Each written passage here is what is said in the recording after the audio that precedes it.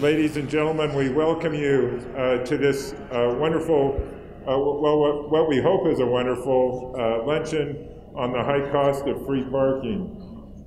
I would just like to introduce myself. My name is Carlton Christensen. I'm uh, Salt Lake County's Director of Regional Transportation, Housing, and Economic Development. Okay. And I'm uh, very grateful to our staff who have worked to bring this particular event together.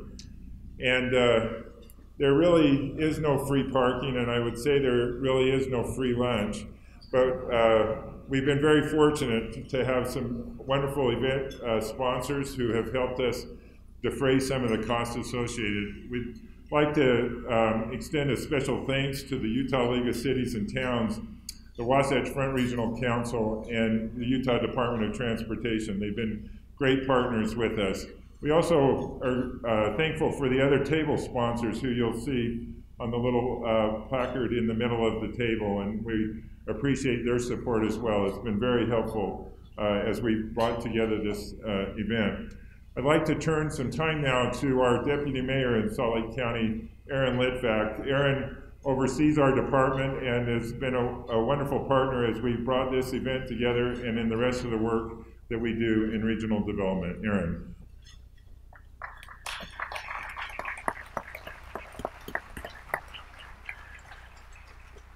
Welcome everyone to this uh, beautiful Salt Lake County venue, the Viridian Library.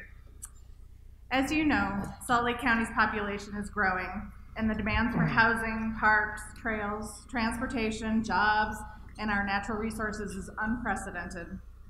Remarkably, Salt Lake County is estimated to add 600,000 additional people by the year 2065 based on research from the Kem Gardner Policy Institute. That equates to three more Salt Lake cities, or a combination of West Jordan, West Valley, Mill Creek, Draper, Sandy, Holladay, Murray, and South Jordan. That is a lot of people needing land and amenities to live, work, and play. In the big picture, parking is generally overlooked when it comes to planning and community development.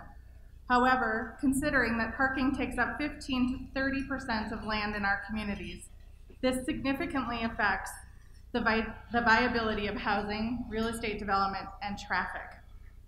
With mountains and lakes constricting our growth and the demands on the remaining land we have, we have increasing, it is more important than ever to make wise choices about future development standards. Salt Lake County believes that collaborative big picture planning is more important than ever, which is why we wanted to elevate this important topic. Parking policies need to be considered and thought through as we plan for our future. Um, I'm honored and privileged today to be able to introduce Professor Donald Shoup to our uh, event today. Donald Shoup is a distinguished research professor in the Department of Urban Planning at UCLA. His research has focused on how parking policies affect cities, the economy, and the environment. Professor Shoup is the author of two influential books regarding planning and parking. The High Cost of Free Parking, published in 2005, and Parking in the City, published in 2018. Professor Shoup is a fellow of the American Institute of Certified Planners and an honorary professor at the Beijing Transportation Research Center. In 2015, the American Planning Association gave Shoup its National Excellence Award for a planning pioneer. Fits in well in Utah as a pioneer. And in 2017, the Association of Collegiate Schools of Planning gave him its Distinguished Educator Award. Wall Street Journal said, Professor Shoup is the rock star of parking and the Yoda of planning. It's my pleasure to welcome Professor Shoup to Salt Lake County. Professor.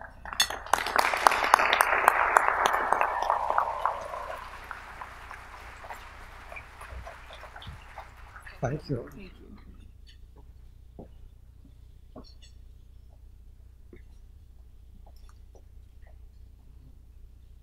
Well, thank you for inviting me to speak to you today. Um, I, I, was uh, uh, pleased when the Wall Street Journal called me the rock star of parking, but I do understand that uh, that's not the same as a real rock star. uh, although I am thinking of changing my name to Shoup Dogg. And um, uh, I was honored uh, to be thought of as the Yoda of urban planning until I remembered from Star Wars that Yoda was 800 years old. Um, now, I suspect that many of you would be suspicious of uh, getting advice about anything from, uh, from Los Angeles. The, the transportation is so famously bad there that how could somebody from Los Angeles have anything useful to say? But I think our problems are so bad that uh, we've had time to think about solutions that, I, that will uh, help anywhere, I believe. Um, that here's a picture of Silicon Valley. Um, now, how could people from a state like that come and tell you how to develop your state? Um, uh, this is a, what they call a campus. It's for uh, Cisco, who is, uh, powers a lot of the computer operations that we use. Um, but this pattern goes on all over Silicon Valley. Uh, you even wonder what the address of these buildings are as in the middle of a parking lot. Um, but this development didn't just happen is because the city requires it uh, through minimum parking requirements. Um, that, uh, like, like all cities have minimum parking requirements, that here, this picture of Cisco is in San Jose, and here are their parking requirements for several land uses. The green is the size of the building, and the red is the size of the required parking.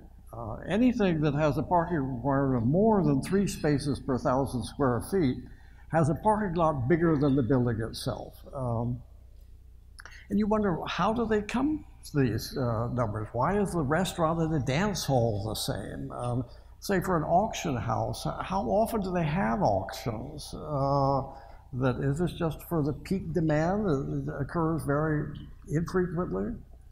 Um, but Silicon Valley is not the only place that looks like this. Uh, here's from close to where we are, um, that uh, a town where you see there's an awful lot of parking. Uh, and I think a lot of this is required, that it didn't just happen.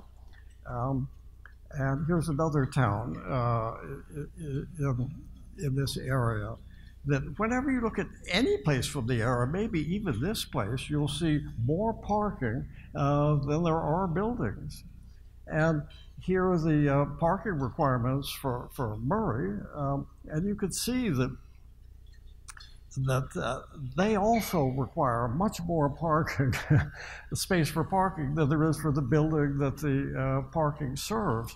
So I think it isn't, th these, these land uses didn't just happen they are required. Uh, the, the, nothing can be built unless it is dominated by parking.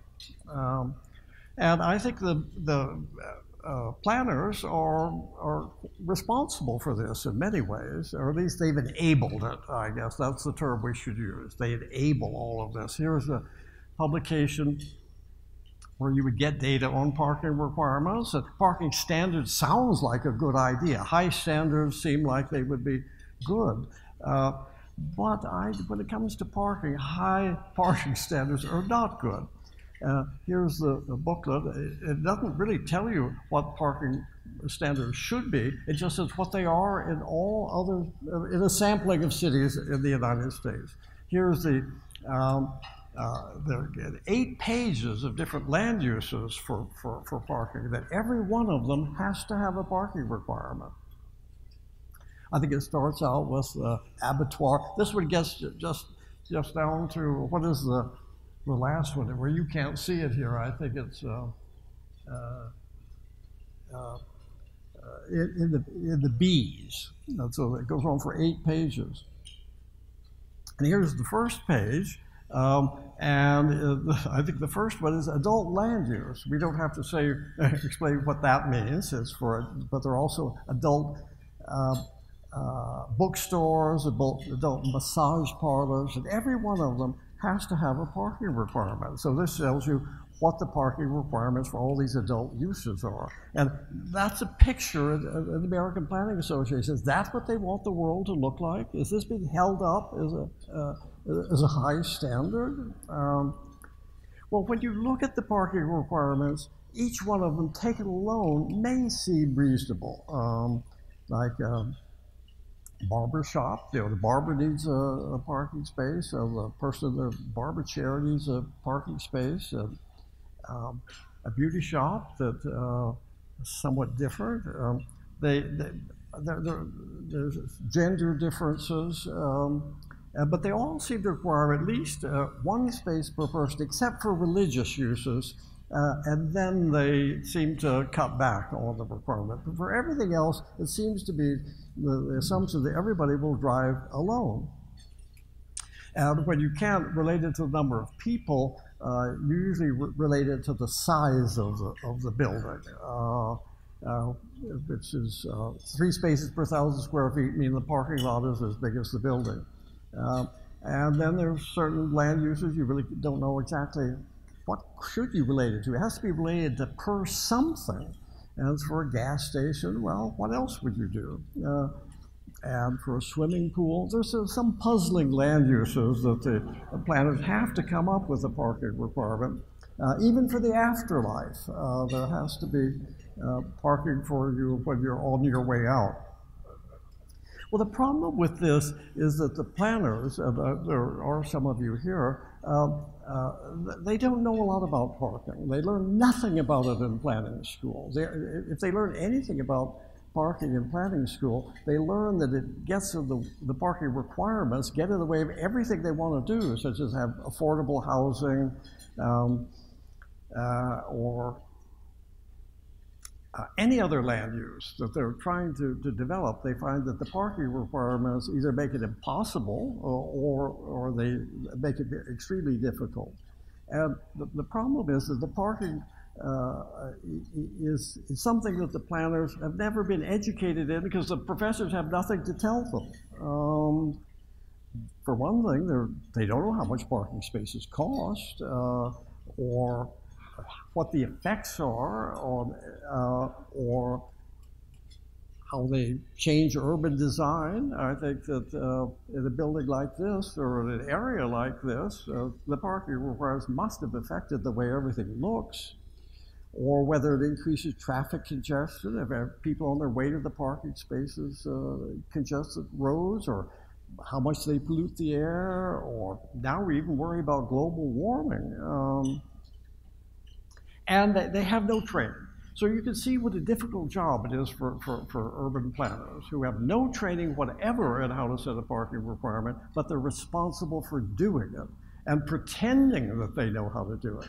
Um, so I think the problem is that we've politicized what should be a business decision. Um, that the people who should make the decisions are the people who are paying for the parking. Uh, and they are governmentalizing what should be uh, market choices. Uh, uh, well, getting back to the, how much the parking spaces cost, uh, which is certainly should not be ignored when we decide how many spaces are needed. That I took data on the construction cost of, of parking in, in, various cities in the United, the United States, and I, it looks as though that the, for an underground uh, uh, space, the average cost is about 34000 and uh, for uh, in a structure above ground, it's about 24,000 a space. Um, um, well, can we afford that? Um, here are data on the uh, median net worth of households. Uh, this was the most recent data I could get. We think we're a rich nation, uh, but the median net worth, that is your assets minus your liabilities, uh, was only about $68,000. And for minority households, uh, look how low it was. The median wealth, that is half of the, the, the Hispanic and black population, have a net wealth of less than $8,000. So you're, you're requiring parking spaces for people who, who, whose net wealth is about the third of the cost of one parking space. And yet we, we pretend that we know how many parking spaces all of these people need. And many households, uh, including the households of young planners, have a negative net worth. That is, they owe more than they have assets. If they have student debt, for example, uh, they, they have negative net worth, but still we're requiring parking spaces for people. So I think that uh, we, we, we, devoted a lot of money and effort and land into paying for parking that could have gone for housing. Um, that, um, uh, that, given the estimates of how many parking spaces there are, at a minimum, uh, there are 1,300 uh, uh, square feet of parking space per car because there has to be parking here, if you're going to go to the grocery store on the way home, there has to be parking for the car there. If you're going to a movie tonight, there has to be parking there. Everywhere you go, there has to be a parking for your car. So there's a lot of space available for parking. Um, but we have much less space uh, per person uh, for housing. So the cars have got a better deal uh, than people do in this country. Um, and most of that parking, although it's very expensive, it's free to cars. And the housing is expensive for people. Uh, so I think we've uh, twisted our the incentives that we have and the way we travel and what we spend and how many cars we buy and everything else. Um, so I think we've got our priorities all the wrong way around. Uh, we have uh, a lot of free parking for cars and much less housing for people that's very expensive. Well, can cities remove parking requirements? Um, uh, that most of us think that it's, it's well, it's, it's, illegal to begin with. Uh, but if we say, well, we should cut back on these parking requirements, what could be done to, to restore a place like this? Um, in Cisco, uh, here's a picture in the Cisco parking lot. Uh, it's a beautiful part of, uh, of San Jose. It's, it's, a wonderful place to be if you're a car. Uh, but how, what if you converted some of this to housing for people? We can do anything with Photoshop. So I took buildings from London and said, well, suppose we have what the new urban is called a liner building, a, a building that lines the uh, parking lot. So from the street, you, what you see is a real city, not a parking lot. Uh, so if you could convert these um, unused uh, parking spaces into housing, it's right where we want housing. Um, now, I did this Photoshop when I spoke to the new urbanists of the kind of building they like. Uh, it must they must have been just clean. They look fabulous, but not the kind of thing that would be built uh, on a parking lot in Silicon Valley. So I just took a, uh, buildings from uh, Los Angeles, uh, apartment buildings with ground floor retail, and said, well, this is probably more like what it would look like.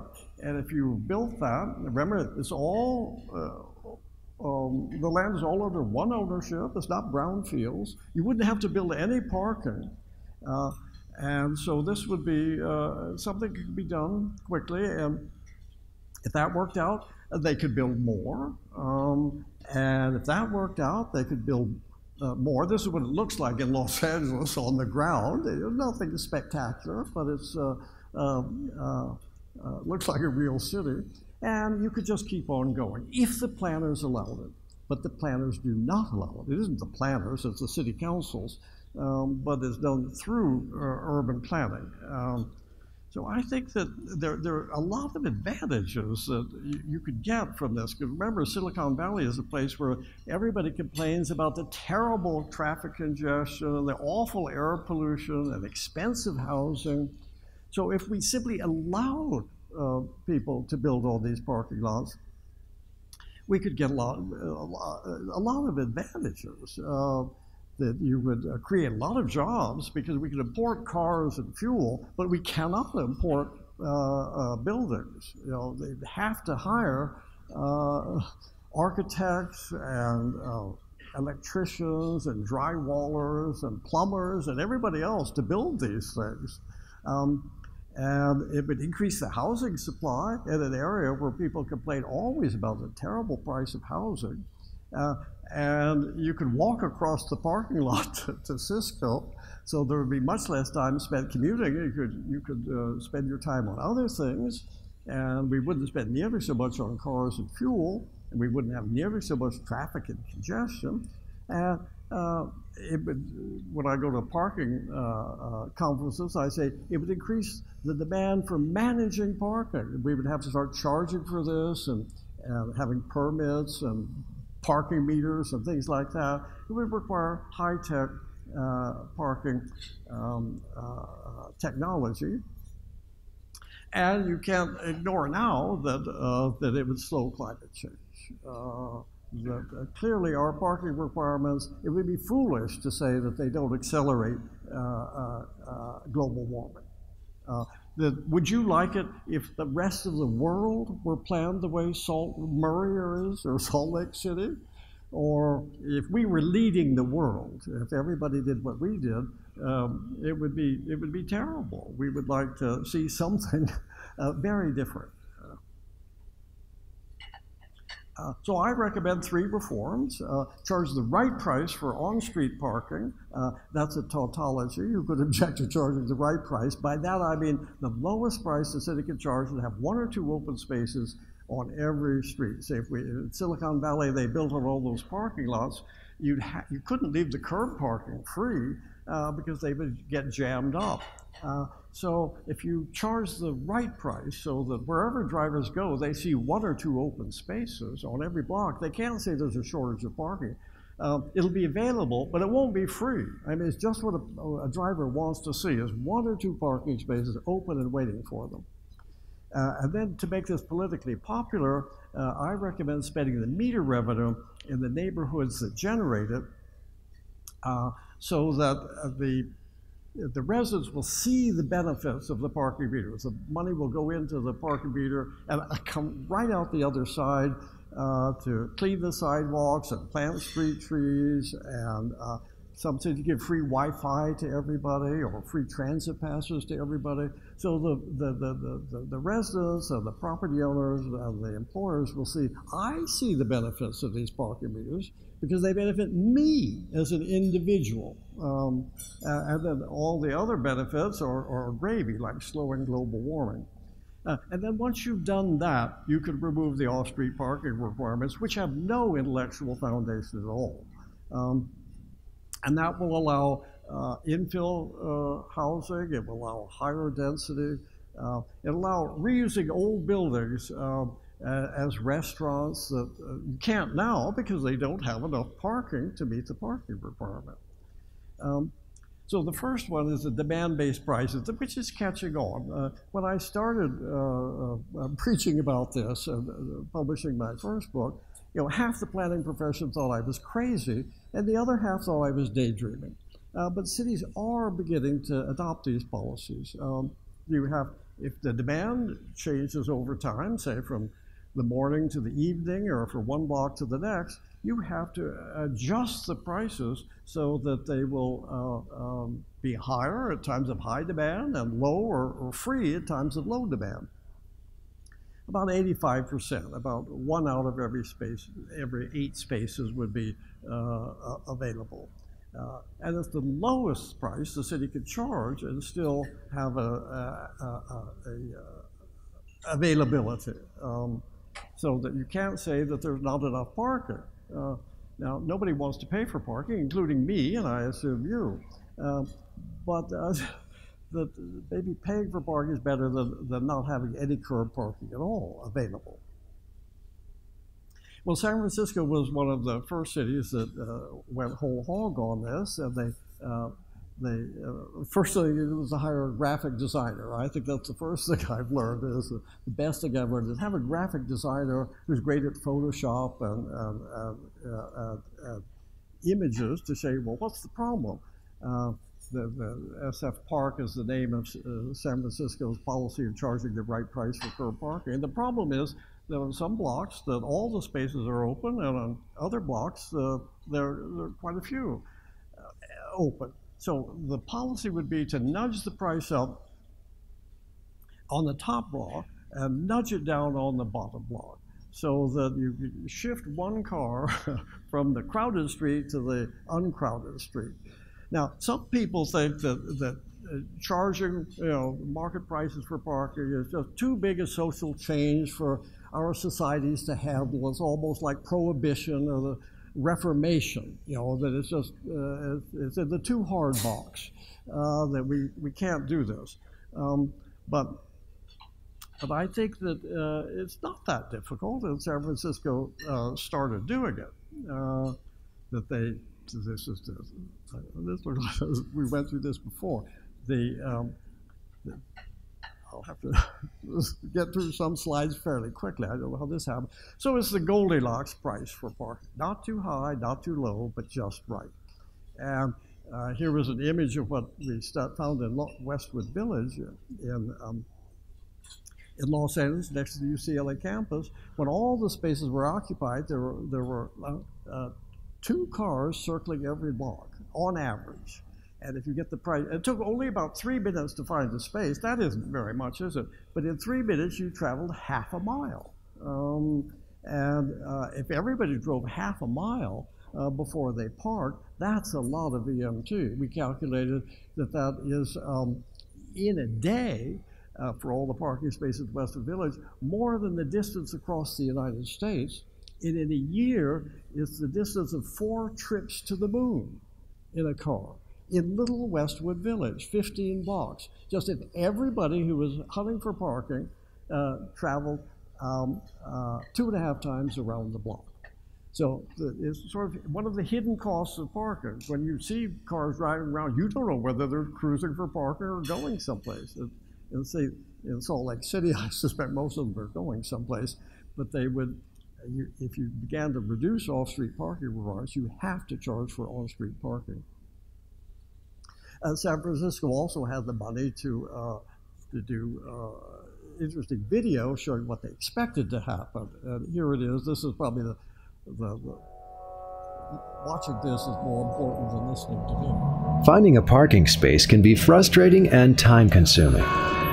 It's estimated close to a third of city traffic is caused by drivers circling while looking for a space. Some drivers just give up and double park. This clogs our streets and needlessly pollutes the air. These cars slow down public transit and get in the way of emergency vehicles. And drivers focused on finding parking create a hazard for pedestrians and cyclists. There is a better way. San Francisco is testing new parking technology and a flexible approach to pricing that is designed to make parking work better for everyone. SF Park's goal is to have at least one parking space available per block. That way, drivers can park near a specific destination without the need to circle the block or double park. This also provides a steadier flow of customers for business owners. SF Park provides safer and clearer streets for everyone. Here's how it works. Newly installed parking sensors detect when a parking space is available drivers will be able to check parking availability and rates online, by text message, and by smartphone before heading to their destination. This will help people decide whether to drive, take public transit, bike, or walk. When people choose to drive, new SF Park meters will make paying easier. In addition to taking coins, the new meters will accept credit cards and SFMTA parking cards. Parking time limits will be extended. Easier payment and extended time limits will help drivers avoid tickets. Prices at city-owned parking garages will be adjusted to provide an attractive alternative to meter parking. Parking rates will be adjusted based on demand, once a month, never by more than 50 cents. So, in areas where it seems nearly impossible to find a parking space, rates will increase until at least one space is available most of the time. And in areas where open parking spaces are plentiful, rates will decrease until most of the empty spaces fill, or until rates bottom out at as little as 25 cents per hour. SF Park is designed to ensure that drivers easily find an open space near their destination. SF Park well, this policy has now been copied in Los Angeles and Washington, D.C., and Boston and Seattle. So other cities are doing it. And the technology for handling is getting so much better and so much cheaper um, that I hope it will be uh, spreading even faster. Um, and people thought that this was surge pricing. Uh, you often hear this is surge pricing for parking. Uh, but most prices actually declined in, in, in, uh, in San Francisco. Um, the, uh, many more had fallen down to the minimum price of 25 cents an hour because so many uh, blocks had been overpriced in the morning. If you have the same price all day long and demand changes, it's going to be overpriced at some times and underpriced at other times. It means you have different prices at different times of the day.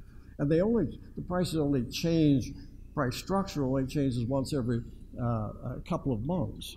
Um, but they just look at they just look at what they had seen in the previous two months and they adjust the prices. And I can't. How else would you set the price of parking other than looking at the results? That's the only way you can get the price right. To say what do I want to see on the street, and then I can just look at the street and say if all the spaces are full, the price is too low. If all, a lot of spaces are empty, the price is too high. Everybody can become an expert on parking. The city council members set the policy that they want to see, the, of what they want to see on the street. And all the city council has to do is to look at the results to see whether the Department of Transportation is doing its job. And a lot of parking should be free uh, because even when it's free, it's not all fully occupied. Uh, and it'll only go up uh, if, if there's no spaces available. And, and the, the uh, businesses benefited. This, they looked at the sales tax revenue and the areas that were right priced versus the areas that they didn't change the price, the control group. And the sales tax went up faster uh, with, uh with the right pricing because um, people would, uh, like, like an image, they would park, they buy something, and then they'd leave. Uh, somebody else can take their space. Now, many people think, well, this is too difficult. How you would do that? Because most people think that uh, the parking meters are the uh, the same as this is the first parking meter in the United States in 1935, and functionally it's the same as most parking meters now, except it's more streamlined. Is that you you uh, put your coin in and you hope to get back uh, before your money runs out. How many other pricing systems have not changed since 1935? we have now we've had the paying for with your cell phone or with credit cards or uh, barcodes and everything else like that. Uh, all kinds of commerce has changed, but parking meters are the same as they were in 1935. Uh, they were opposed in 1935. Uh, they actually went to the Supreme Court before and they, they, they, called it a, an, an infernal combination of, of, a slot machine and an alarm clock. Uh, you hope you get back before your time ran out. But modern parking meters are much more sophisticated. And even this one is old fashioned now. This is on the UCLA campus. It doesn't tell you what the price of parking is until you press any button. And then it tells you what the price is at that time. And there are four different price structures during the day. Now, maybe it's, it's, it's uh, $3 for the first hour and $4 for the second hour. Is that too much to charge students uh, on, the, on the campus? Well, I suppose many of you realize that the professors have a lot of spare time on their hands. So I set up my camera across from eight parking spaces and looked at what happened during the hour. And you should be able to say, well, is the price right? Well, here's the first picture I took. You'll see the shadows move. It's every uh, four minutes. I took pictures of this is what you like to see one open space. Anybody arriving will see, well, this is great. And you can see somebody paying at the meter on the, on the left. I think she has something red on. Four minutes later, one car had left and one car had arrived. Uh, another four minutes later, once there was all spaces taken, Four minutes later, there was a space available. And if this is a city block, even though one block has uh, all spaces taken at, at, at, one minute, you could go to another block, and if you find another space, that's fine. Sometimes there were two spaces. Um, but pretty, it, it, worked pretty well. So one time there were three spaces, but it filled up. So I think that uh, uh, this, this is probably what you would like to see. And do you see this uh, in the parking spaces outside the uh, stores in Salt Lake City? Is this what you see all day long? that always there are one or two open spaces, people coming and going all the time and paying. I think that it takes a lot of planning to figure out, well, what should we do? The right price it should be higher? Well, no, uh, because that would mean that a lot of it would be empty spaces. Should it be lower? No, uh, because then more people would find no spaces available, they'd have to drive around. Uh, it's the Goldilocks principle. It's also like the Supreme Court's definition of pornography. The right price for parking is I know it when I see it. That there's no other way. There no, you don't hire a consultant to do any modeling for you. You don't do any predictions at all. You just look back at what happened. Um, so uh, I think this is the easiest way to set to set prices. It's the way. It's the way uh, businesses set prices as well. They have sales for things that don't sell, or they raise prices if they're out of if there's a high demand. Um, so everybody knows now that uh, the information age, information wants to be free, but parking wants to be paid for. Uh, so we avoid cruising for curb parking. Nobody will be driving around. Here's uh, studies of, of what percentage of the traffic is cruising for parking uh, or how long it took to find a space. These were taken over the past almost 90 years um, uh, on four continents in something like 18 cities. And they only looked for parking, uh, uh, cruising where they expected to find it. Uh, in Salt Lake City, the data would be different at different times. But in these congested areas where they did the studies, about a third of the traffic was cruising for parking, took about seven minutes to find the space. Here was a, uh, a diagram of a study that was done in Chicago uh, just before World War II, and they hired uh, students to stand at every corner with uh, uh, watches, and they uh, noted every car that passed, um, got the license plate number and which way it turned, and then they could recreate the path of travel. And so on the lower left, uh, there were some people who were fixated on parking on one block, but on the other blocks, people were, were more experimental. They had high hopes for some things to be different on a different block. But there was a lot of cruising. And we've all done it. Uh, maybe not so much in Salt Lake City, but in other places that wherever you go, you have done it. Uh, and we see, and it causes very dangerous behavior. I've seen in Westwood cars make a a U-turn in the middle of the street when they see an open space on the other side. Um, and th this leads to very risky.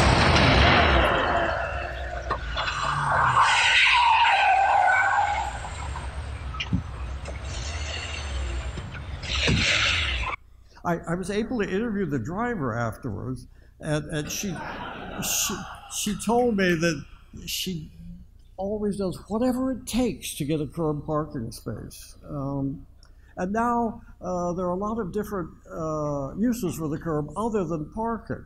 Um, that there are loading zones, um, which are necessary for Uber and Lyft a lot, and bus stops, uh, no stopping zones, and bike lanes, and bike stations, and outdoor restaurants the, giving it over to free or cheap parking is, is, is taking land away that could be used and a lot, a lot uh, more things.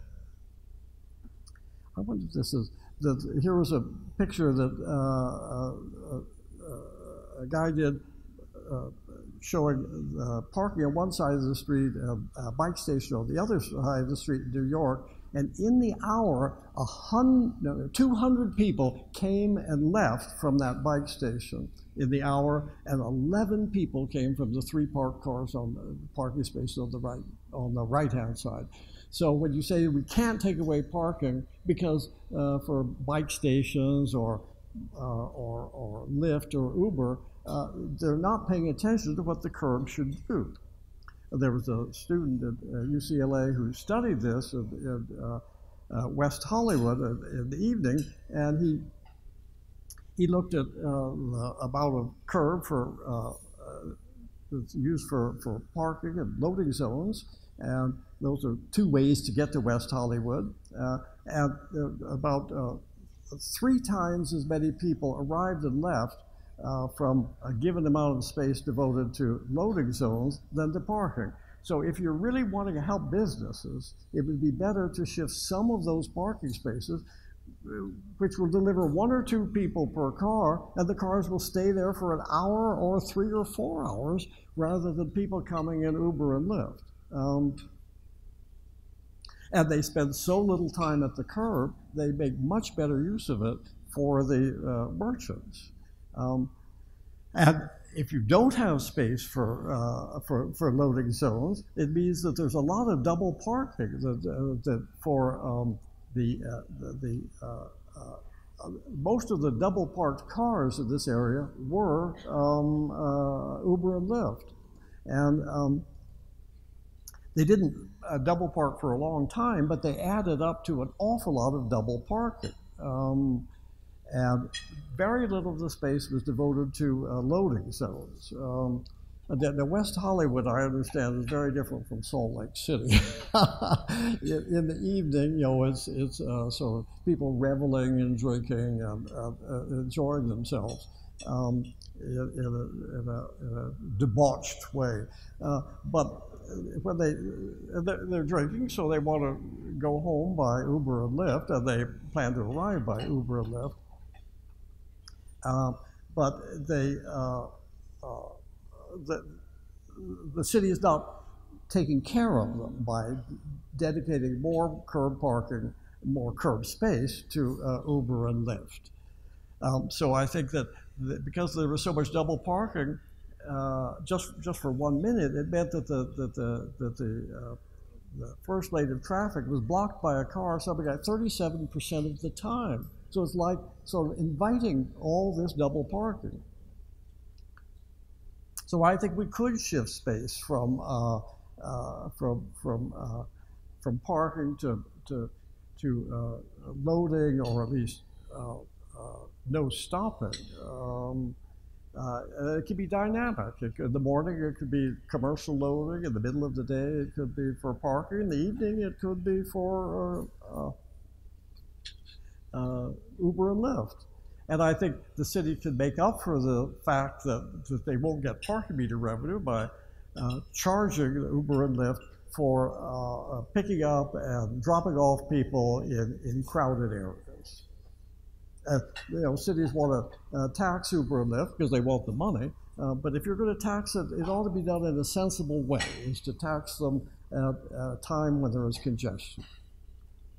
And then the second policy was parking benefit districts because parking meters are very unpopular uh, because you, you pay and the money disappears. It's as though it would be spent on the Iraq War or something. It has no political uh, uh, benefits to anybody. Uh, and urban planners seem like the most awful people, is that they have their plans on improving the city, and they do it by torturing uh, uh, drivers. But when people get the money from parking, they understand that it's, uh, it, it's not un American to charge people uh, for parking. Um, I think it's a very American value uh, to charge people for what they use, uh, for what they get. Um, this is a scene outside the Los Angeles Coliseum during the 1984 Olympics, but it happens at every Olympic, uh, every every event at the Coliseum. Uh, they, uh, the residents nearby um, park their own cars uh, on the street and they rent out their driveways um, to, for um, for the event goers. Uh, it's a very American policy to charge people for what they use.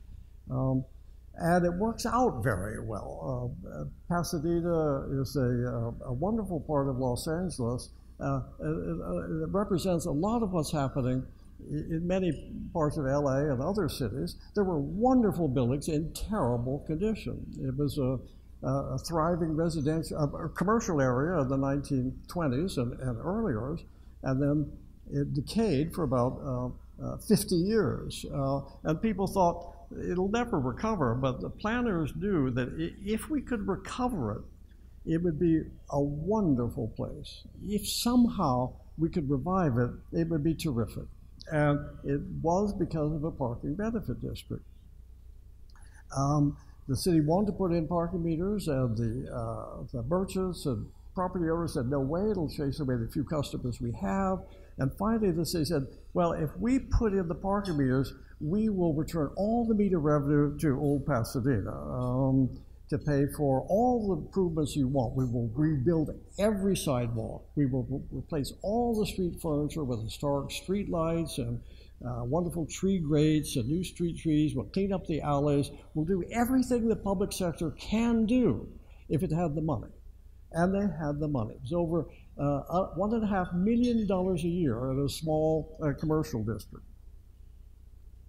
And then the merchant said, Well, that's different. Why didn't you tell us that? Let's run the meters till midnight. Let's run them on Sunday. Let's charge a high price. And the only thing that changed was they said that if we put in the parking meters, the, the, the general fund won't get the revenue, your neighborhood will get the revenue. And they quickly understood that. Uh, so they borrowed uh, money uh, against the meters. You can borrow against parking meter revenue. They made all the physical improvements. And then even after the debt service, they had $700,000 a year to pay for. They pressure wash the sidewalks twice a month. They clean them every night. They remove graffiti every night. Uh, sometimes they have mounted police officers uh, to, to, to, increase the sense of security, which is unnecessary, but it looks great. Um, here's a quote from they, they appointed a, a, a, zoning advisory board for the so the the uh, uh, local uh, merchants and property owners and residents could uh, recommend what to do with the money. And they said, once we found out that we would get the money, it was an easy sell. Uh, parking meters are not an easy sell, especially if you're going to run them until midnight and charge a high price. Um, so it, it, it, led to huge changes. Uh, and they put you know, slogans on the meters explaining where the money went, what we're aiming to do. Uh, it was before and, and, after. You know, decades of paint and grime were taken off. Very expensive to do historic preservation. It wasn't worth it until the city improved all of the public services. Um, was a tire warehouse that had been empty for decades, um, and it uh, became a Saks Fifth Avenue with no parking. Um, a typical alley, you know, with mattresses and dead animals and things like that. They put the wires underground and created wonderful walkways where everybody comes to Pasadena so they can walk around in the, in the neighborhoods and enjoy it. It's the most walkable place in Southern California. It went from a commercial skid row to one of the most desirable places for, for visitors in California. Another uh, small town up the coast, Ventura, uh, the, the, the parking meters had been torn out uh, uh, earlier. Uh, and the city council was uh, was voted out of office, and all the merchant, all the ele elected officials knew that parking meters were, were, were toxic until they said if we put in the parking meters, all the money will go to uh, pay for uh, Main Street services. Um, and they, um, uh, they, because they had meters, they had to have um, meter enforcement people, police cadets who were uniformed officers wandering around, uh, you know, helping, explaining the parking meters and things like that and giving tickets. And it led to a, a, a major reduction in crime just because there, there was an official presence in the neighborhood. And they gave free Wi Fi to everybody. Uh, through the meter system, so that when the um, uh, when you go to a coffee shop or a restaurant, you open your laptop to use Wi-Fi. It isn't courtesy of Starbucks or or anything like that. It's courtesy of the parking service. Because you have meters, you have free Wi-Fi. Uh, I think one of the, the niftiest uses is in Boulder, Colorado, which does almost everything right, uh, that they put in parking meters and they use the revenue to provide free transit passes to everybody who works downtown. So if you work downtown, you get a free transit pass paid for by the, by the parking meters. So the employers have a tax-free fringe benefit that they give to all their employees paid for by the parking meters. And many of the parking meters are, of course, used by people from out of town. So I think that it's, it's, a, it's a very clever system that uh, it suits even people who think all the meter revenue should go to pay for public transit. You know, because there is a public transit lobby and the meters, they want the meter revenue. Say in San Francisco, they do give the, the meter revenue to public transit. But if you give it to transit passes, the still the transit system gets all the revenue um, uh, from the from the meters, and they get a lot of new riders. Uh, because everybody who works downtown can, can ride for free. And everybody who gets a free transit pass knows that it's paid for by the parking meters, and the employers know it's paid for by the parking meters. So not only does it help the public transit system, who gets all the money effectively, but it also provides an individual benefit to everybody downtown. So that is one way um, to make parking meters popular. Uh, which policy do you think will be more popular in a parking benefit district? Providing transit passes for everyone or simply telling everyone that the meter revenue will be used to subsidize public transit? If you knew the money was going to go to subsidize public transit, how big a difference do you think that will make in your life? Um, uh, which revenue, use of the revenue, do you think will generate more public support for parking meters? So I think these parking benefits, they have two roles. That they're a transportation demand management tool. They, um, uh, they manage the demand for curb parking and they reduce the traffic congestion, the air pollution, and fuel consumption. But they're also an economic development tool, like in Pasadena, uh, Ventura. They, uh, they, they, they make the curb parking available so every nobody will say there's no place to park downtown. Uh, they increase the sales, uh, the property tax revenue, uh, and they employ uh, people. Say that the, in the parking benefit districts, they use the money to provide you know, the clean and safe uh, function. Usually um, entry level uh, people who do the street sweeping, you know, the graffiti removal, uh, in, Los Angeles, it's often um, uh, it's an organization called Chrysalis, which is helping to make helping people to make the transition from homelessness to, to, to work. Uh, because it isn't that difficult to learn how to sweep a street, but people will learn how to show up for work and, and, um, and stay at work all day, and, and they, they earn a living.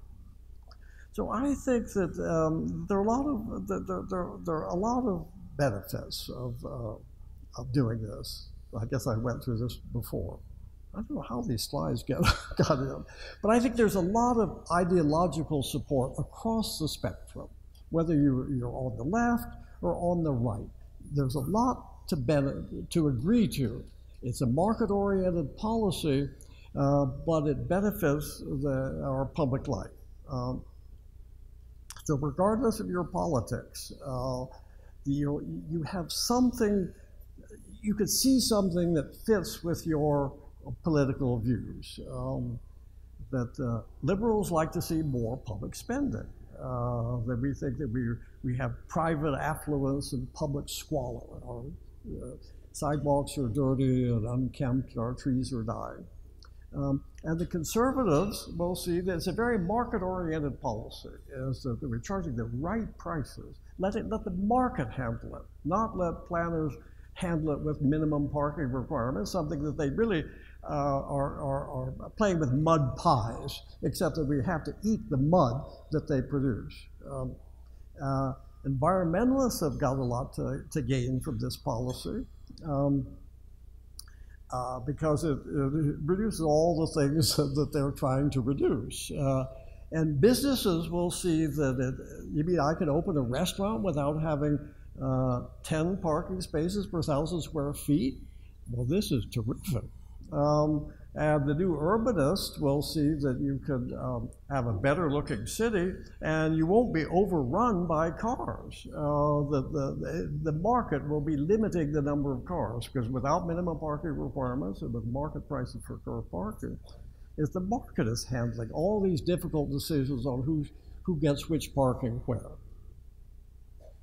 And libertarians will like it um, because it's left everything is left up to individual choices. Um, and property rights advocates can see that you mean the government is not telling me what to do with my property. They won't say exactly how many parking spaces I have to have, no matter how much they cost, and no matter whether many of them end up being empty.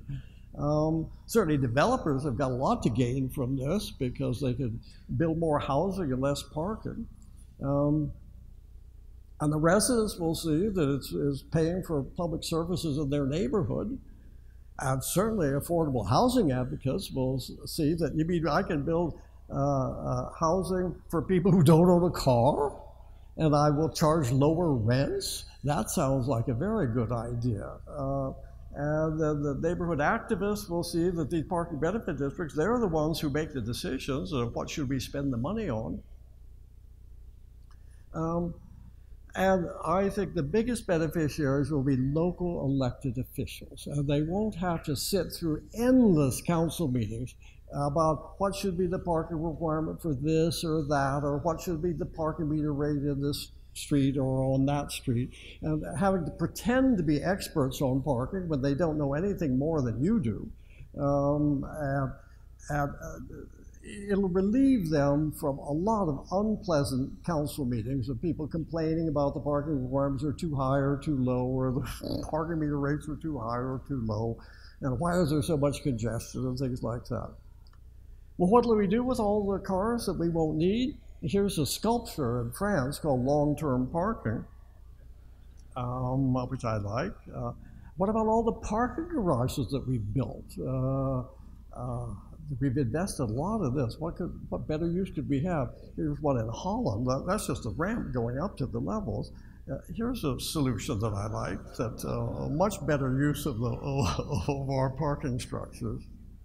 Well, the urban planner can't do anything better than um, end with a quote from from Jane Jacobs. Um, um, we aren't a wealthy country because of what you and I have done. Uh, we live in a wealthy country because of, of what we were born here.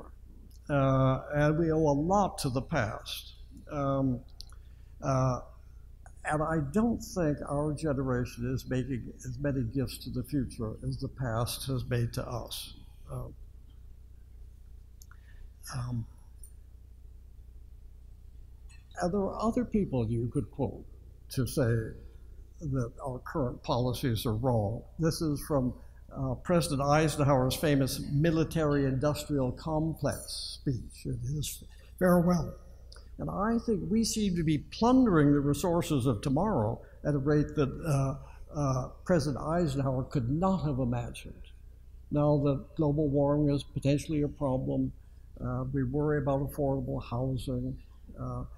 And yet we have fixated on making the world better for cars so that we can have free parking. And then our, our greatest uh, presidential writer, of course, is Abraham Lincoln. And I think our case is new. Uh, the technology of charging for parking is so much better than it was in the past. Um, and I think it's time to think anew about Parker and to act anew. Now, you, you probably don't often hear a professor ending a lecture with quotes from two Republican presidents. Um, but I suspect that all of our presidents would agree with Eisenhower and, and Lincoln. Uh, despite all the inertia in urban planning, uh, reforms are sprouting. Uh, Cities are removing off-street parking requirements. They are charging for on-street parking. They are creating parking benefit districts. The paradigm shifts in urban planning are often barely noticeable uh, while they're happening, and afterward it's hard to tell that anything has changed. So that we, we make U-turns in planning so fast we forget where we're going in the other direction. We, have, we, we once did urban renewal, and now we do historic preservation. We once did high-rise public housing, and now we have scattered site public housing. Uh, we realized we were going in exactly the wrong direction. And I think with parking policies, we are going in exactly the wrong direction. Everything I'm recommending is the opposite of what we're doing now. We now require off-street parking. I said, no, you shouldn't require any. Um, uh, most on-street parking is free. Um, uh, and I think most of it should be charged. And, and when we do charge for on-street parking, we pour the money into the general fund. And I say, well, no, it should not go in the general fund. It go back to the neighborhood where it came from. But no matter um, uh, how fast these improvements happen. And uh, I think that we'll always have a parking problem. That will never disappear unless General Motors succeeds on this new, new, new development that, that they, they've kept under wraps. Um, here's a, a short uh, clip that, that escapes that shows what could happen in the future.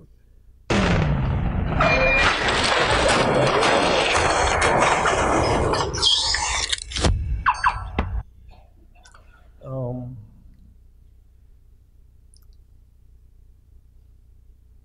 well, thank you very much for giving me the opportunity to speak to you, and I look forward to, to talking to you all afterwards. Thank you.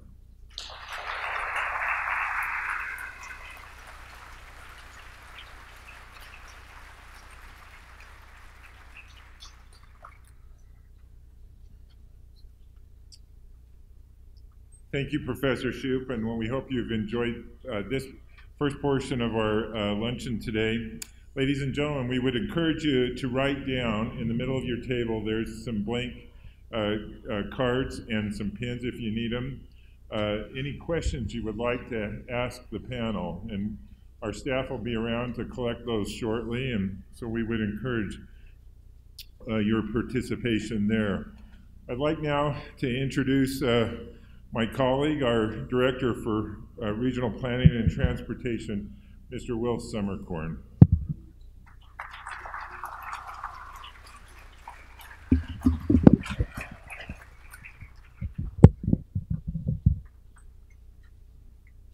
Well, welcome. Thanks all for being here, and we thank Professor Shoup. We really appreciate his coming here and uh, giving us this information and the uh, a different way of thinking a little bit about parking.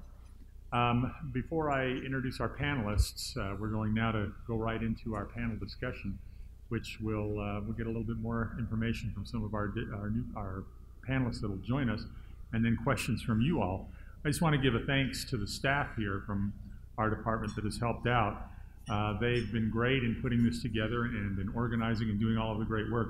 Our staff are Jake Young, Helen Peters, Jana Ostler, uh, Sam Sedovic, and Jennifer Terrazon um, and give them a hand. I think they've done a great job. All right, with that, I want to introduce our panelists and have them come up now. And then uh, from uh, the two that'll join us, we're going to ask them to take just a couple of minutes and give you a little bit of their perspective on issues related to parking that they have dealt with. Um, and then we'll uh, go right into the questions that you may have. Uh, and again, as uh, Carlton mentioned, use those cards that you have at your table, and our staff will be around to pick those up. Just hold the card up when you have it, when you filled out, and someone will come around to pick it up. Our first panelist uh, is Mark Isaac.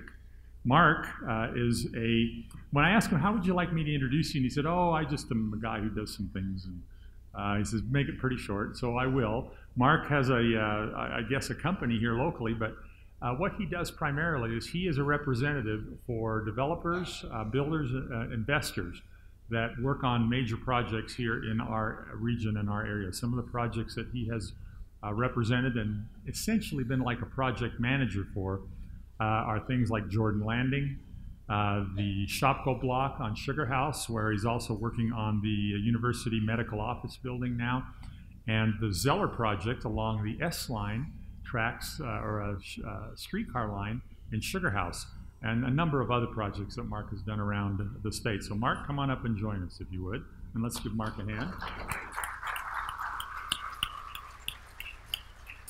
And our other panelist is Paul Allred. Paul is the Community Development Director in Holladay City. I didn't know whether to call you city planner, whatever, Community Development Director. I know Paul well. Uh, when I was at Davis County, we hired Paul and Paul was one of our planners there, and he only stayed for a little while. Then he left there and went to Centerville City as their community development director. And if you ever get the time, ask Paul to tell you the story about his attempt to do a city center development, a community center development in Centerville, and how it all imploded in the end, and they wound up with Walmart. And uh, it was uh, something that the community did not anticipate or want, but it's the way things happen. It's a great story that he has to tell you. Uh, Paul is, uh, has done some great work in, in Holladay and uh, he will tell us a little bit about some of the experiences he's had there. So come on up, Paul.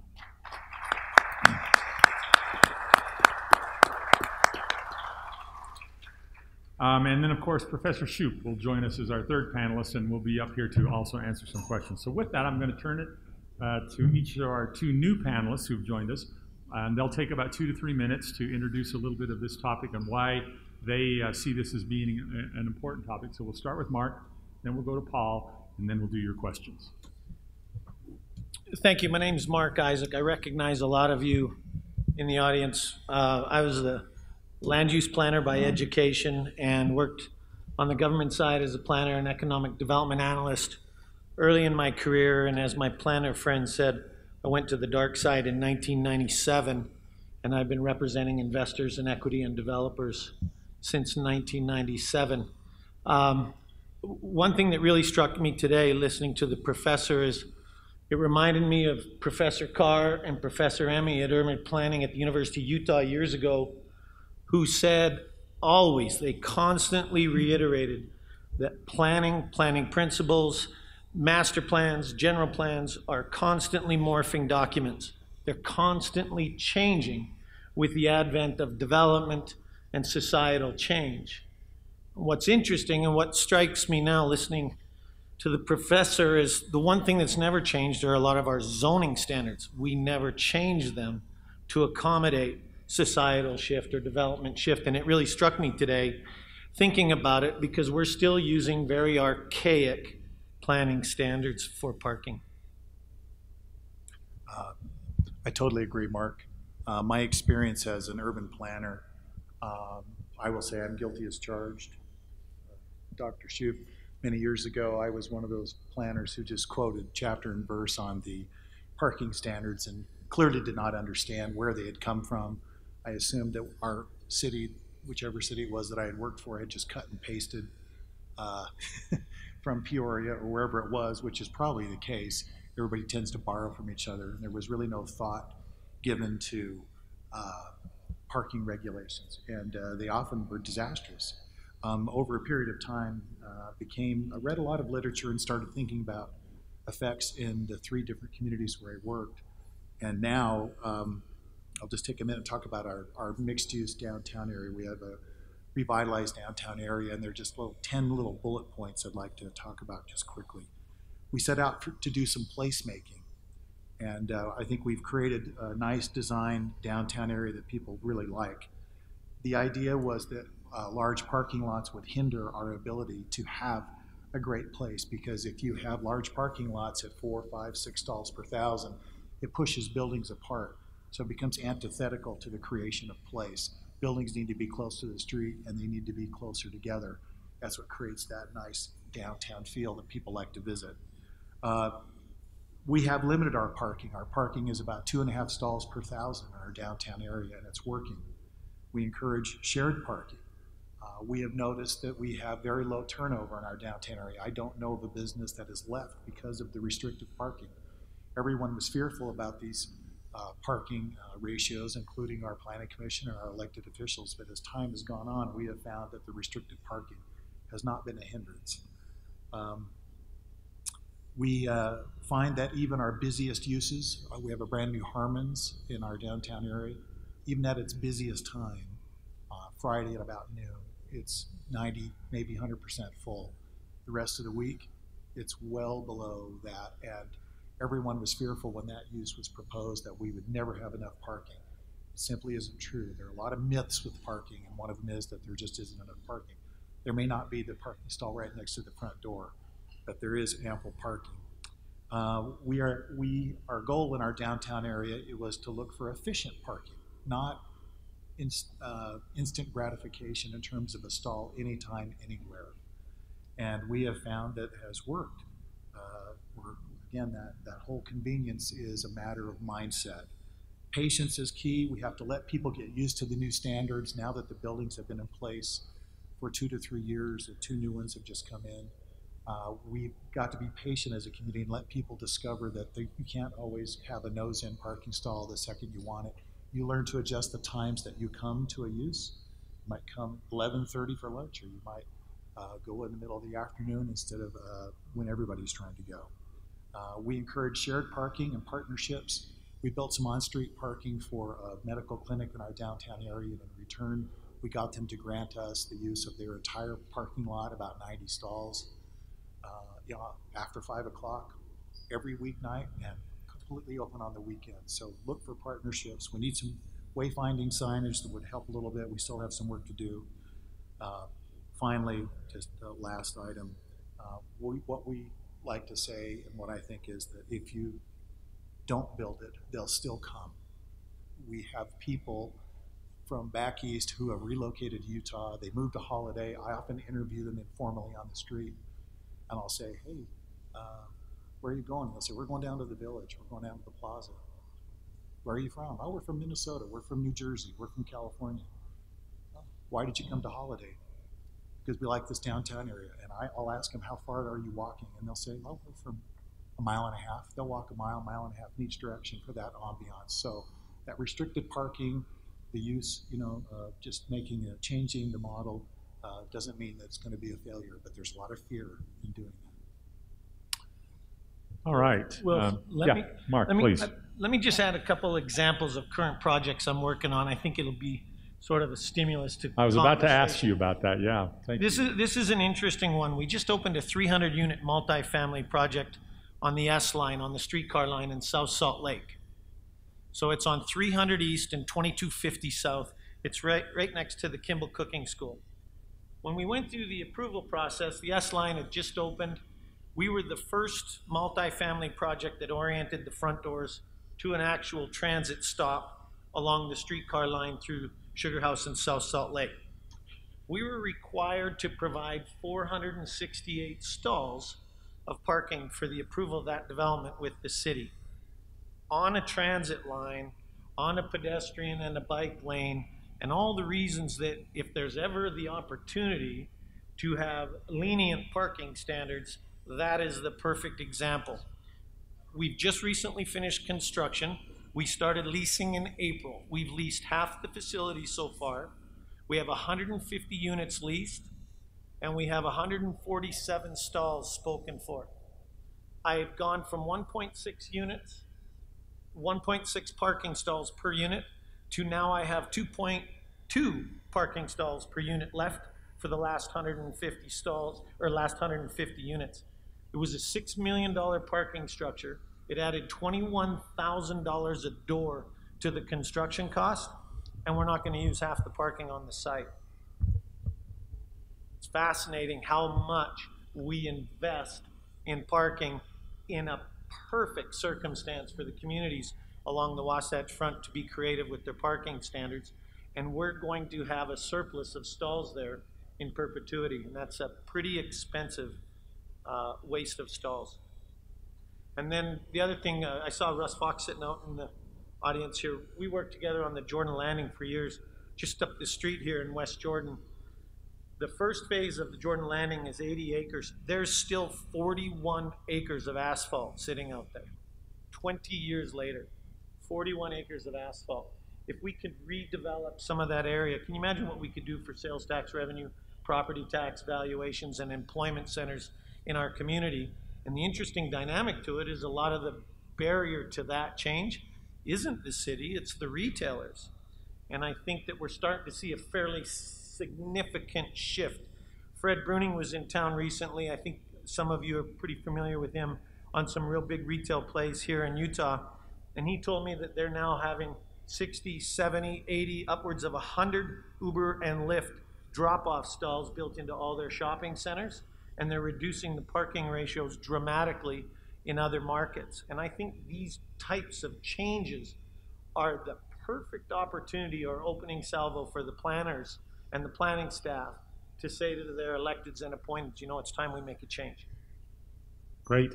Oh, appreciate that. Um, Press Shoup, did you have a comment or did, something you wanted to add? And Mark, if you'd hand the mic over to him. Well, um, I have this. I, I, I, I agree that, as Oh, as yeah. you said, that, that um, uh, plans change over time. Uh, they're- morphing in one direction or another. But I think our, our, our planning for parking was wrong right from the beginning. It isn't that it was once right uh, and now it's wrong. It was wrong at the beginning, it's even wronger now. Um, uh, you know, consider, suppose, suppose Henry Ford and John D. Rockefeller at the, at the dawn of the automobile age, suppose the, they had asked urban planners, what policies can you recommend that would increase the demand for cars and fuel? Well, here are some options. One, separate land uses, housing here, jobs there, um, shopping someplace else. So this will create the demand from one area to another. And then we limit density, so to spread things further apart. So that will further increase the amount of travel. And then let's require off-street parking everywhere so that cars will be the nat, which will further spread things apart and make cars the natural way to travel. And I think those are essentially, from the beginning, our urban planning policies. Those three elements of separating land uses, limiting density, requiring off-street parking, they were wrong from the beginning and they're wrong now. Um, I think the upside of this is that it leaves a lot of land available for better uses, for infill development, uh, for, uh, for more housing, uh, if we let it happen. And I think uh, that, uh, that nothing can happen unless the zoning allows it. Uh, zoning is really to prevent changes in many ways. So I think that, um, yes, I hope that the planning will change and make a U-turn that, that all three of our base, those are the three basic policies of, of, of, of zoning, is separating land uses, um, limiting density, and requiring parking. The first two are just saying what's allowed uh, the, in each in each area. The third, parking requirements, they're different, and they came later than the first two.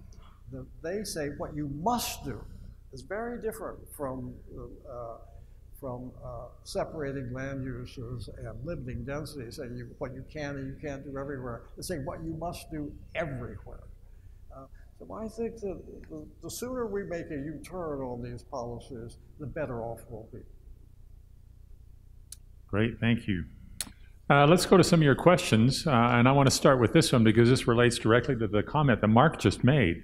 Um, it- the question is this Can you please address further how reducing parking requirements in residential areas or projects can help with housing affordability? And uh, you just heard Mark talk about what the cost is in a project such as uh, he's been working on, where they are uh, building structured or underground parking, and how much that costs per parking space. That, of course, has to be um, costed out to the units themselves, uh, which adds to the cost of that. I just, for example, you say, well, what about other types of housing projects where you, there may be not such high density? I just recently heard about a community that was considering uh, uh, an ordinance to allow for accessory dwelling units. But as part of that requirement, they were thinking of requiring that the, uh, the home where their accessory dwelling units may be allowed had to have a minimum of six parking spaces. Now, you can imagine what that does to the cost. Um, uh, Would you, uh? Well, I'm, I'm programming a new project on, in the Granary District and one downtown on two hundred South right now. And twenty-three percent of the cost of construction on both those projects are parking alone. So, you know, you, you reduce the cost of construction by reducing the amount of parking required. And every one of you that are working in these various communities along the Wasatch Front have seen a tremendous uptick in podium parking, five over framing. It's the most efficient way we can build. The reason you're seeing it everywhere is it's the most cost efficient way we can build multifamily right now. But still 22 or 23% of the cost of construction is in providing parking stalls. And so you want to be able to reduce the, the amount of rent required to pay for that debt. You reduce the amount of parking required. And most of those parking standards are established by the cities. Yeah, we, our experience has been pretty interesting too. We, uh, for example, in our downtown area, which has a different parking standard than the rest of the city, we need to get to the rest of the city to address those standards, which need to be changed, but we have actually capped our parking in our downtown area. You cannot build more than a certain number of stalls per thousand. And it's two and a half for both retail and uh, uh, a commercial retail restaurant. A restaurant, it's one stall per four seats. So we have capped our office and retail at two and a half. And we've said, if you really need more, you can ask for no more than a little bump. You can ask for 25% more. We actually had one retailer come in and say, well, a big development, the Harmon's development came in and said, look, we have to have more than that or we can't make it work. So we did a text amendment, but we only gave it a slight bump over the other businesses because they, they needed to know that they would have enough parking to make it work. So it was a little bit of a challenge for our city to kind of relinquish control over those two and a half stalls per thousand. But again, we find that this axiom is true. For every nine by 20 stall that you have, that's nine by 20 feet. That's 180 square feet of area that you can't lease, you can't rent, it can't be used for economic development. So if you don't find the Goldilocks solution for parking, that delicate balance, and overpark or underpark, it can be disastrous. And, and we've been doing it wrong for a long time. We hope, we think it's really working while we're at, but we think that cap has helped. And uh, had an interesting discussion with one of our developers today, the developer who did our clock tower buildings and the Harmons building. He said that uh, the biggest hurdle he's had in having people come in is that the tenants, they're demanding four and five stalls per thousand, and they don't even understand that they don't need it. And so he pointed out to a group, we had a tour group today in our village. Uh, about 20 people came down to tour our village, and they and he said to that group, he said, "You know what's interesting is that we haven't lost any tenants. All these folks who wanted all this parking, we convinced them, gave them a low lease rate to get them in here, and they're all doing well. We haven't lost anybody, even with the restricted parking that the city has adopted. So it's a delicate balance. Um, to Paul's point, um, when I and one of the questions that we have from our audience relates to that very issue. And uh, when I was uh, at Salt Lake City during my time at Salt Lake City, we worked on some of the parking requirements there, and we actually were looking at uh, uh putting in place some parking maximums, not allowing more than a certain number of parking spaces uh, based on some standards. And the interesting comment that we got from some of the developers that were uh, that we talked to with regard to that, they said, well, we don't have a problem with that. We, in fact, we would really like to be able to do less parking. But our tenants, the potential tenants, and the financiers all seem to think we need more parking and are demanding more parking. Otherwise, they won't lease with us or they won't finance our project. And so uh, I think, I, I think, I hope that's changing. Um, but it certainly has been an issue, and it's, it's one of those uh, things that I guess you kind of need to go around. Any comments from the panelists on that? Uh, well, but yes, uh, uh, two comments. First on your uh, the accessory dwelling units. I think that um, uh, in, in resident single-family housing areas, the, the, single biggest opportunity for affordable housing is to allow people to convert their garages into apartments. It's done illegally all the time, uh, but not legally because the garage is required for the, but for the parking. Uh, and the city says if you want to convert that garage into, into, into an apartment, you have to replace the, the parking spaces and add parking for the, for the ADU. Well, we've had state legislation in California saying that cities must allow people to convert their garages uh, into apartments without any, any new parking. And I think that some of the, the most wonderful opportunities for affordable housing is the, uh, all the, the, the snout houses that have garages poking out in front. That normally you think of an ADU and something in the backyard, but I think there's so many garage doors that you can see from the front of the house that shows a garage that could become an apartment. And it would make the house look better if it were changed into uh, uh, appropriately matching the rest of the house so that the half of the front of the house is not taken over by a garage door, but by a bay window, for example. Uh, so I think if we allow accessory dwelling units, it will be a, a terrific improvement. Uh, that, as I understand it now, the, the share of young adults who live with their parents is at an all-time high uh, because of the cost of housing. And if you're going to have children living with you, I think it's better that they live in the garage. Um, uh, and if it's facing the front, you have your own entrance to the front. um, you have your, uh, it's really like a, a separate unit that you, the, the, the homeowner doesn't lose any privacy in the backyard. Um, so I think that the ADUs are a, a terrific opportunity, but they're prohibited by most zoners. Uh, and that's something that can be changed. The second question was about Retail. Yeah, on retail. Hmm? With uh, the retail, the requirements that tenants and financiers have with regard to. Oh, yes. Well, that's, that's always a, uh, an excuse that planners give. It's not our fault. It's the, it's the, the banks. They won't lend. Um, well, what about the cities that don't have parking requirements? Is there no lending there?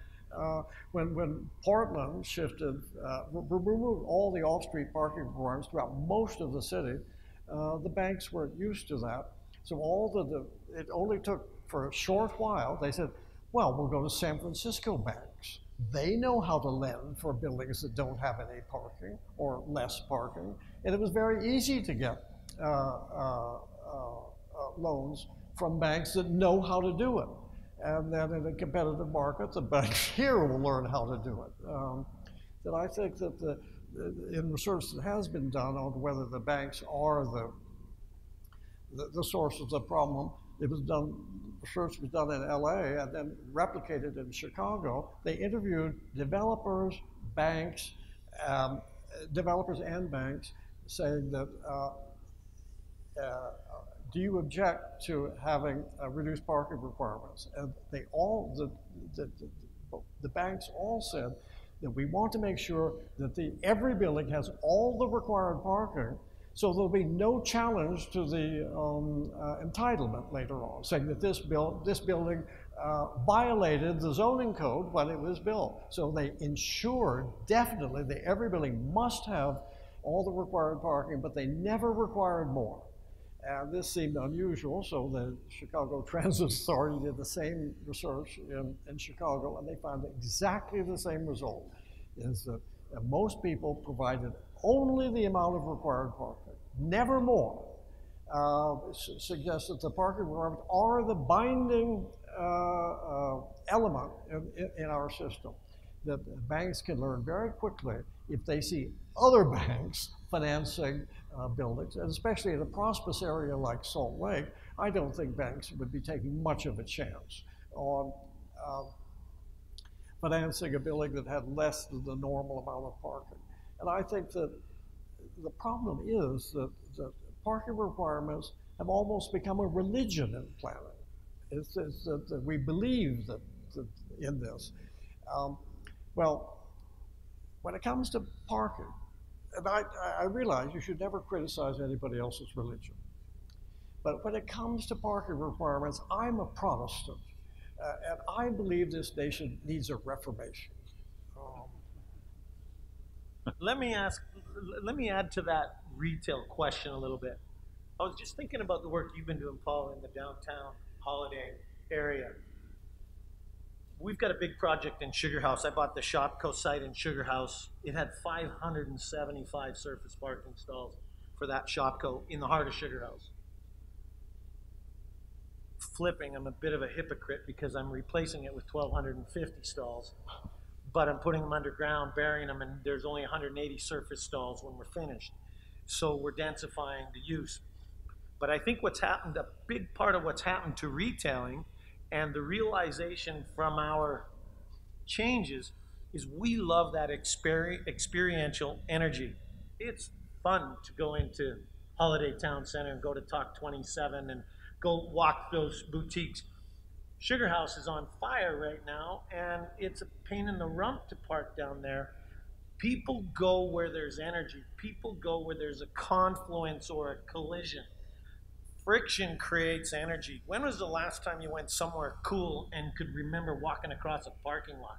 The French Quarter in New Orleans, or Pikes in Portland, or you know Lodo in Denver, Hillcrest in San Diego, Gaslamp in Vancouver. I can go on for an hour of all the cool places we've all been in, these cool retail environments and these cool restaurant settings. And it's really fun to go there with your husband or your wife or your kids. And it's because of that confluence. Not one of those places do any of us think of as a conveniently parked setting. And I really think that that's sort of the change. We started this big box plan a while back and created massive parking fields for convenience in and out. And we lost all the cool factor and all the energy in retailing. Very good point. I, I really like what you said, Mark. Um, I, I've often commented as a planner in dealing with residents who come out and protest every project that's attractive or quaint or is something outside of the box. Like Will mentioned in Centerville, we tried to do a 50 acre mixed use town center that went over like a lead balloon, even though Envision Utah and the Quality Growth Commission were, were funding the, the project. Peter Calthorpe came out and people just looked at him like he was in, like he was nuts.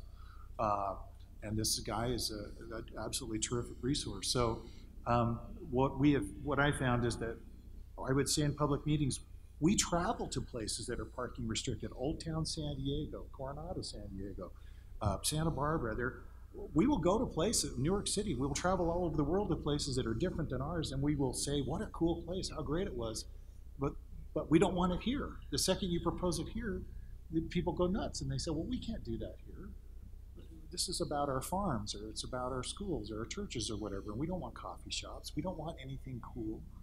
Um, and so in Holladay, it's we're trying to do something that's fun and that doesn't. It's not all about the car. Certainly, you can drive through the middle of it. You can go and park there, um, but we have. A, have you you been to the Soho Food Park in Holladay? We have this really cool food truck park at the south end of our village. So our village has three activity centers City Hall Park, uh, City Hall. Then we have the Plaza and the Clock Tower buildings and the Harmons at the main intersection. And then about a block down, we have this food truck park. The food truck park will get 1,500 people on the weekends. There are 16 stalls.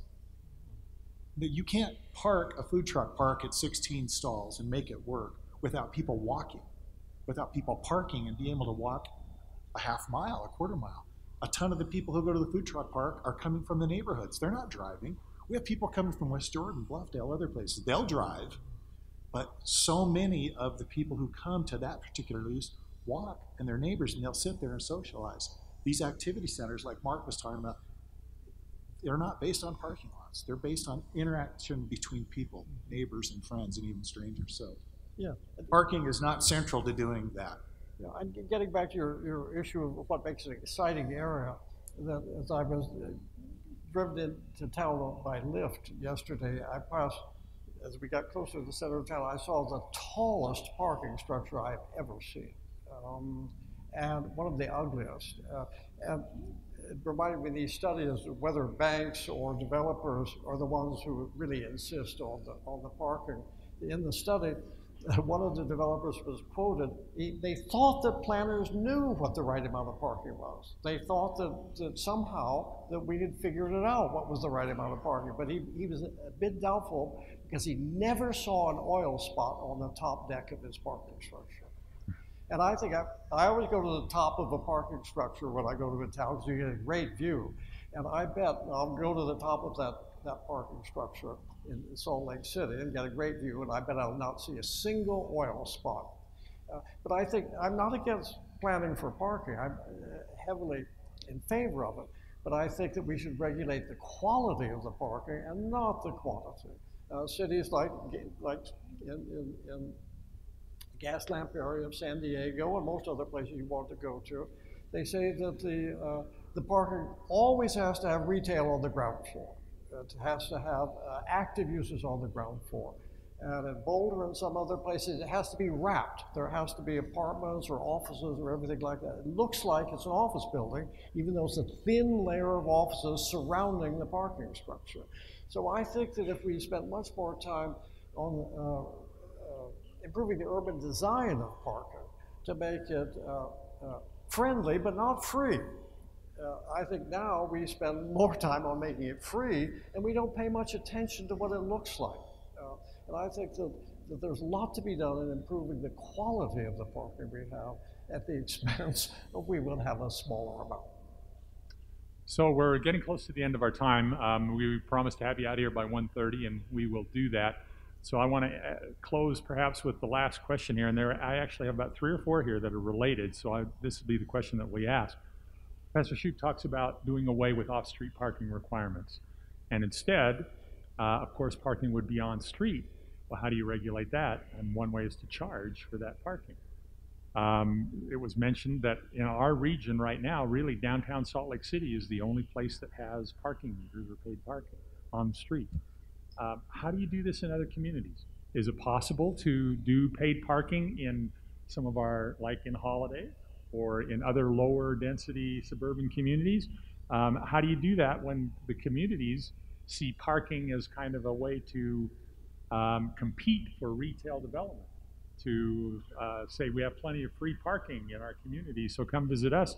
And how do you also get over that idea of, of many of our elected officials, that concept of free parking, parking whenever and wherever you want to, is a sacred cow? How do you overcome that? Well, I think that removing a parking requirement does not mean there will be no off-street parking. I mean, that, that's a, a, a, a very, I, I think people's mental mental faculties shift to a lower level when they talk about parking. They use the reptilian cortex of their brain, you know, the most primitive part of your brain that was invented to, to, to make fight or flight decisions, how to avoid being eaten uh, that, that to say that, removing off-street parking requirements mean that there won't be any off-street parking is absurd. He was just saying they were wanted to provide parking. They just didn't want to provide as much as the city was telling them that, and it remains empty. So removing off-street parking requirements does not mean not having any off-street parking. You've already got tons of it. It won't disappear tomorrow if, if, if not all of it is required less of it will be built and it will be better uh, uh, looking. So I think that, that that's a mistake. And you, everybody won't be parking on the street, but if you have less off-street parking, you have to charge the right price for the on-street parking. I think that uh, that there's there's no removing off-street parking is also not the same as limiting the amount of parking. Some people think that we should go straight from a minimum parking requirement to a maximum parking limit. And that is sort of like the Soviet maximum, uh, that uh, Soviet maxim that what is not required must be prohibited. Somehow we can't let it go. We can't let the market handle it. We have, we know how much is either the minimum or the maximum. And when you go from the, sometimes when cities go from a minimum to a maximum, the new maximum is lower than the previous minimum. I mean, how bankrupt could a profession be uh, when their central, uh, one of the central features of their planning is, is so uh, uh mixed up? I'd say when London went from minimum parking requirements to maximum parking limits, it turned out afterwards, new buildings built afterwards, the, the change had about half the amount of parking as before. So suggesting that really the parking requirements were requiring much more parking than developers were willing to provide. They also put in limits, and almost nobody ever built up to the limit. The limit was not binding because you, you would have it, but it didn't have any effect because it was it was one space per thousand square feet or something like that, and most people were willing to pay more for that. So I think it should be uh, it should be allowed to to let the market provide the amount of parking. And if a restaurant wants to open up with no parking, it should be allowed to. I'd flip it a little bit. For me, maybe we should be doing this now to start influencing traffic and transportation decisions and patterns. The University of Utah, for example, used to just be fields of parking. It was a commuter school uh, over the last 20 or 30 years, they've sort of developed out most of those parking lots into coverage and buildings. And you look at the rail system and you watch those transit cars go in and out of that campus every day, they are standing room only packed from daybreak to the U, and that's influencing good change. We're in an environment where air quality is a big issue. Maybe cost of parking for 1,500 people visiting Food Truck Friday and Holladay Town Center influences more families to ride their bikes, influences more people to walk, influences more people to Uber Lyft. I went downtown with my wife a week ago. I just asked the Uber guy, how many times, how many rides has he done so far tonight? He said, I was like his 28th trip into downtown. Well, think of 28 less cars going in and out of downtown by one Uber driver. That's massive. those kinds of changes, maybe it's the, the heavy hand we need on the Wasatch Front to start to influence that positive of air quality and less vehicular traffic. I'm a hypocrite. I'm driving up and down the Wasatch Front to five different projects from Provo to West Haven in a Ford F-150. But the flip side is, we Uber in and out of Sugar House to restaurants. We Uber in and out of downtown. And, and I think that we are seeing a societal shift in that. And, and, and, it's, and, and maybe some of these parking changes and narrowing that off-street parking focus forces us all to look at alternative means. You know, and it's a good point. And, and uh, one of the questions here had about how, what are autonomous vehicles going to do to parking requirements? And you look at what Prof- Professor Schuker talked about, about curb space for loading and unloading. And maybe, you know, that's a big part of the change. Paul, any? Yeah, we, we've had that same kind of concern with these new developments and uh, what, what are AV, what's AV gonna do? We think it's gonna increase the need for more drop-off pickup and less parking stalls. Another thing that helps with reducing parking, for example, in our downtown area, is it's nice if you have good sidewalks and it's really great if you have bike lanes.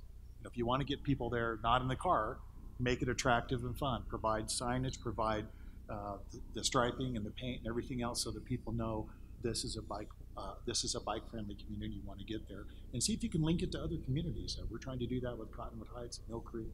Do all you can that way. You, you raised an interesting point. Sugar House just recently uh, adopted, just a year or two ago, blade signs for their retailers. Anywhere that's pedestrian friendly, Carmel, Park City, you know, we can go on and on and on, allows blade signs. All the other signs that we're building are for vehicular traffic. Well, if you're pedestrian friendly, provide the retailers an opportunity to show their wares and their location to the pedestrians. Little planning changes like that have a massive influence on how we enjoy the built environment. And that's just recently occurred in Sugar House as an example and in Salt Lake City. And that's influencing pedestrian friendly Holladay Town Center. Soda Row out at Daybreak's doing a beautiful job of that. They're out in the suburbs and they're building this little intense little community that's very pedestrian friendly. So planning efforts are making great strides and great changes. We're planner world, we're not we're not all the bad guys. But the flip side is is we can have more influence than I think a lot of times we realize. And it all comes down to parking, or at least a lot of it does. Paul Allred, Holladay City, Mark uh, Isaac, and Donald, Professor Donald Shoup. We thank you all for being here today, and join me in uh, thanking them for their presentation.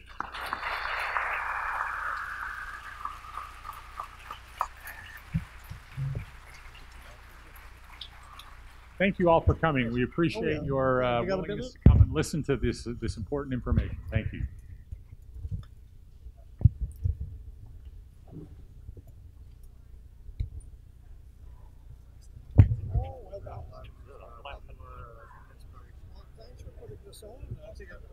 Thanks for